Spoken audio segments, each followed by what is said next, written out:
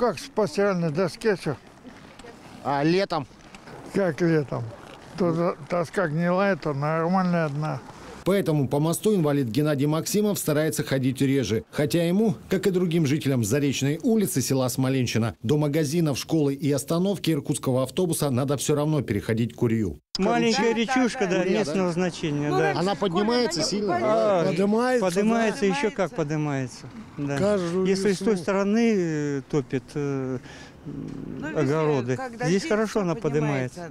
А крюк во вход через автомобильный мост около двух километров. Поэтому местные ходят так и переживают. Ведь держится мостик, только можно сказать на честном слове. И паре опор. А перила? Перила тут, шутят жители, выполняют декоративную функцию. И об освещении переправы даже не мечтают. Но когда по нему идешь, он шатается, он, накл- он накренен, ну, то есть просто страшно по нему идти, честно говоря, с детьми тем более.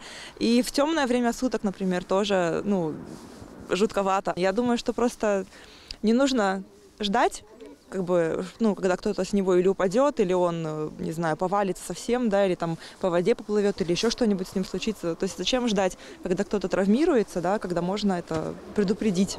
Построили мостик еще в прошлом веке, временно. И потом это стало постоянным.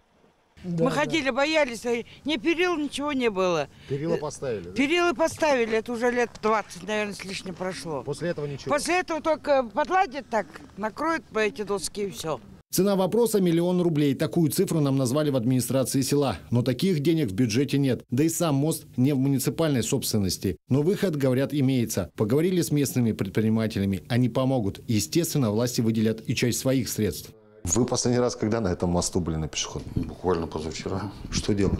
Мы встречались э, с бригадой, которая будет осуществлять капитальный ремонт. Когда он начнет? Вопрос поднимался еще в октябре на заседании Думы. Там было принято решение, что в зимний период, потому что в летний это невозможно сделать, там вода. Февраль-март заплани- запланирован капитальный ремонт.